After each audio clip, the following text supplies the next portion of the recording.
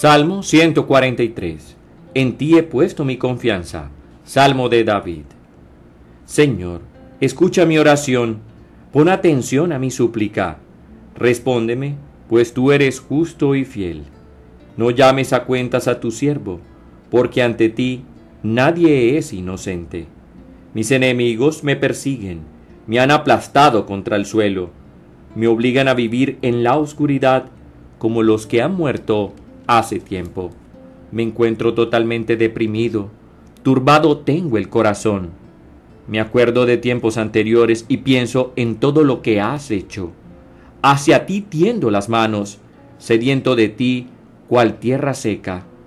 Señor, respóndeme pronto, pues ya se me acaba el aliento. No me niegues tu ayuda, porque entonces seré como los muertos. Por la mañana, hazme saber de tu amor, porque en ti he puesto mi confianza. Hazme saber cuál debe ser mi conducta, porque a ti dirijo mis anhelos. Líbrame, Señor, de mis enemigos, porque en ti busco refugio. Enséñame a hacer tu voluntad, porque tú eres mi Dios.